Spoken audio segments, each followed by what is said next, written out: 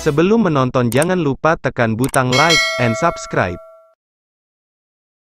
Kenderaan tidak dapat meneruskan perlawanan dan hantaran yang cukup baik daripada Faizal. Jadi kita dapat lihat bagaimana tepat ke kakinya dan dengan hantaran dengan satu sentuhan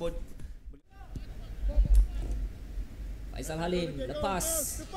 Cuba melakukan gelecekan lepas. Faizal Halim berdepan dengan Sam Somerville. Gol kedua untuk pasukan Terengganu Baru saja saya sebutkan tentang pemain ini. Pemain yang cukup-cukup lincah. Siapa lagi kalau bukan Miki ataupun Faizal Halim? Ya kita dapat lihat bagaimana beliau hantaran yang cepat dilakukan oleh rakannya kepada beliau dan beliau tidak menunggu lama meluru ke atas.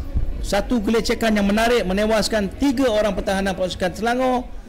Dan kita dapat lihat bagaimana beliau begitu tenang melihat kepada kedudukan penjaga gol dan terus merembat dengan begitu kuat bola itu kalau, kalau kita lihat bola itu melalui muka penjaga gol kita ataupun penjaga gol Samuel untuk masuk ke gawang gol Cukup-cukup pantas, cukup-cukup deras larian pemain ini. Jika anda terleka, selamat tinggal. Itulah yang perlu diingatkan